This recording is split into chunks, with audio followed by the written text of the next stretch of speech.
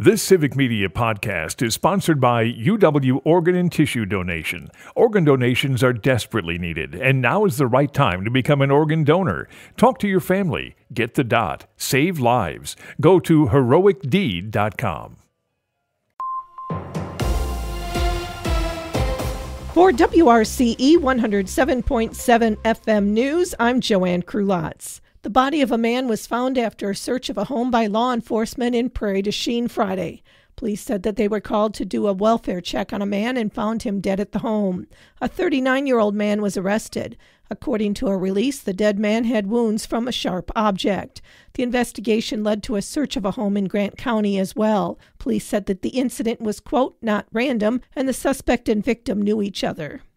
U.S. Senator Ron Johnson appeared to hedge on Friday whether he or Republican presidential candidate Donald Trump would accept the outcome of the November election. Well, I sure hope so. You know, unfortunately, you know, here in the state of Wisconsin, uh, we have a governor who vetoed the types of bills that would restore confidence in our election system. So you're asking me a hypothetical question that I really can't answer because I don't know how many different ways mm-hmm. Democrats are going to want to cheat. Despite a statewide inquiry in 2021, there has been no credible evidence of systematic voter fraud in the 2020 presidential election. Johnson, widely seen as a staunch ally of Trump, defended the former president's campaign and his proposals during an appearance on the Earl Ingram Show Friday morning. You can listen to the full interview on the Earl Ingram Show on the Civic Media website app, social platforms, or podcast apps.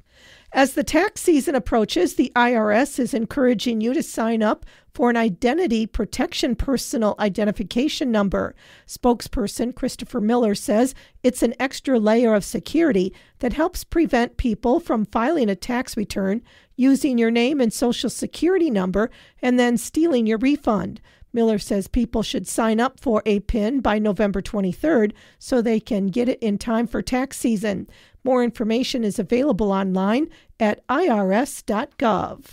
Community First Bank and four banker volunteers will be recognized by the Wisconsin Bankers Foundation's Excellence in Financial Education Award at the upcoming WBA Flex Retail and Marketing Summit in November. Certificates of recognition will be presented to Ann Cooley, Regional Branch Manager, Lancaster, Kimberly Rabska, Branch Manager Baraboo, Sarah Paul, Branch Manager Reedsburg, and Sherry Huza, Customer Service Representative in Platteville. Distributed annually by WBF, the Excellence in Financial Education Awards recognize banks and individual bankers for their demonstrated commitment to improving financial literacy in their communities. Certificates of recognition recognize all individual bankers who reported between 5 and 19 presentations in a single year. A United States Department of Agriculture rule requiring newly applied cattle and bison official ID tags to have both a visual and electronic component will go into effect on November 5th. Currently, the only official tags that meet these requirements are 840 RFID tags. This requirement applies to official identification placed for any reason, including interstate movement, brucellosis vaccination, and tuberculosis testing. Cattle tagged with visual only official tags prior to November 5th do not need to be retagged unless they lose their ID. These changes only apply to official ID for cattle and bison. The purpose of this rule is to improve livestock traceability. Electronic identification tags and systems provide many advantages over traditional metal tags, including faster information sharing, more accurate and precise identification of animals, and significantly faster record searches during disease outbreaks. With the election about a week away, Senator Tammy Baldwin and her Republican challenger Eric Hovde held campaign events in Eau Claire over the weekend. Senator Baldwin and Governor Tony Evers visited the city's IBEW local union to encourage canvassers and supporters to take advantage of early voting. Hovde visited Loopy's Bar and Grill in Chippewa Falls to urge his supporters to vote early as well. Both Senator Baldwin and Hovde have stressed the importance of voter turnout with a competitive election expected. With colder weather starting to settle into the area, heating experts are sharing tips with residents on how to winterize their homes properly. Experts say residents should begin with starting their heaters or furnaces now to reduce the risk of fire later. If they have a chimney in their home, they should get it checked for signs of deterioration, which could also cause a fire hazard.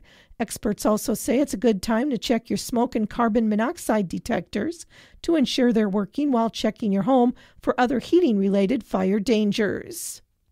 The average gas prices in Wisconsin fell 6.7 cents during the last week.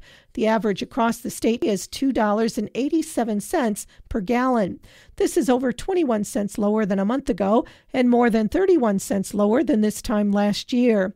Gas is at its lowest level since January, which some Americans attribute to the upcoming election. Officials at GasBuddy say politicians have little influence over gasoline prices. The switch to winter gasoline and the drop in demand is pushing gas prices down. Officials say these drops will continue into and even beyond the election as colder weather arrives.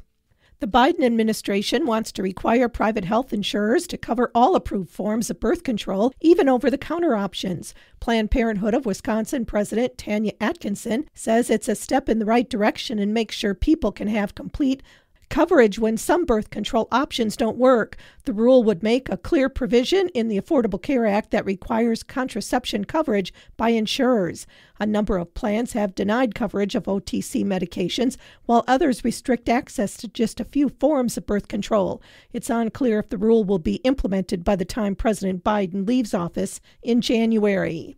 You can support the troops with your excess candy, as obesity remains an ominous health threat across America, plaguing almost half of the U.S. population. The calorie packed Halloween holiday looms large. However, there's no need to fret, as you can get paid cold hard cash for your candy. Healthy Wages Cash for Candy program pays individuals $10 per pound of candy, up to $100 per person, and up to $10,000 in collective payouts across America.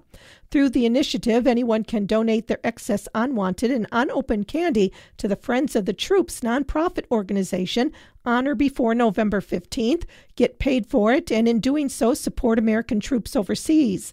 Participants need not be a Healthy Wage Challenge participant, as anyone anywhere in the U.S. can donate candy and cash in.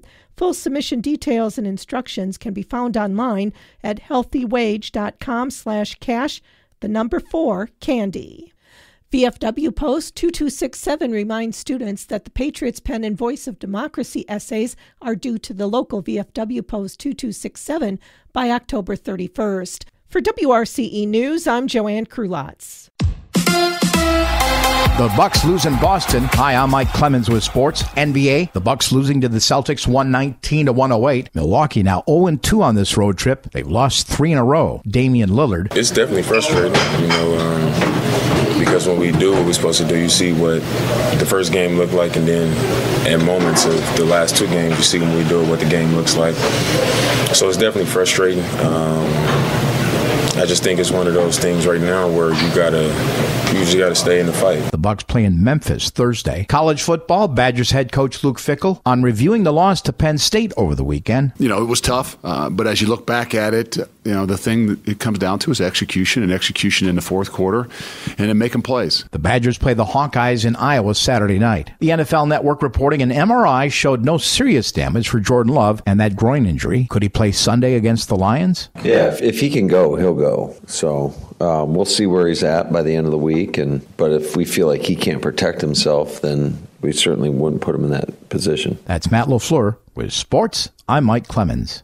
On your entertainment beat, I'm Pete Schwaba. Venom: The Last Dance led the way at the U.S. box office last weekend, taking in 51 million, but it was still a bit of a disappointment. The final chapter of the Venom trilogy, starring Tom Hardy, was tracking to the tune of a much bigger showing at the box office. The studio was hoping it pulled in an additional 20 million bucks. Partial blame can go to the World Series, but not all of it, according to prognosticators. No reason to shed tears for Sony, as the film is performing well overseas. Coming in second was Smile 2 with just over 9 million, but a 60% drop off after opening weekend, a little more than you'd like. The Wild Robot took in over 6 million in its fifth weekend in theaters. Outperforming Smile 2 and The Wild Robot on a per-screen average was newcomer Conclave, which received rave reviews and came in fourth place despite a limited release compared to other films. Rounding out the top 5 was the Andrew Garfield Florence Pugh-led romance We Live in Time, which was expanded to more theaters last weekend. Scary movie releases are winding down, folks. John Oliver's comedic takes on current events are top-notch. If you want a sample size and a good laugh, check out his and Will Ferrell Ferrell's funny parody of Lee Greenwood's God Bless the USA. Oliver, an immigrant himself, had to take a test to become a citizen and then listen to Greenwood's song during his citizenship ceremony and thought new U.S. citizens deserved better. When he found out Greenwood charges the U.S. government $700 a year to use the song, it rubbed him the wrong way. So he is offering the new Will Ferrell version to the government for $701. Seems like a sensible price. Uma Thurman and Anthony Hopkins are teaming up with another up and coming actress, Phoebe Dynevor, for a forbidden love story called The Housekeeper. The film will be set in England at Hopkins' character's vast estate, with Thurman playing a housekeeper falling for a young woman and author who is visiting. It sounds quite steamy because Thurman and Dynevor are both very attractive, and even more so because there is no mention of Anthony Hopkins doing a love scene. Matthew Perry died over a year ago, but the story is still very much in the news. Variety reports that Perry's family is taking legal action against the doctors and those who supplied him with ketamine.